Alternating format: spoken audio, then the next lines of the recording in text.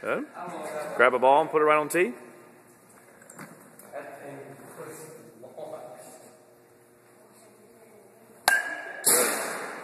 Where's your head supposed to be looking when you start? Looking forward right at the pitcher. Go ahead and grab the ball. Doing great, brother. Spread those feet out and bend those knees. Excellent. There That's a perfect swing. Do it again. Last three. Just relax. Back away from the tee a little bit. Perfect. Flex the knees. See ya. Last two.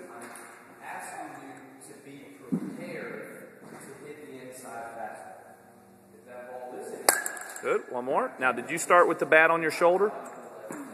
You did? We'll watch it on tape. Remember, start with the bat on the shoulder and look straight where? Start with the bat on the shoulder. Look straight forward. Straighten out your shoulders. Straighten them out. The other way. There you go. All right, now you ready? Go back and hit. Good job.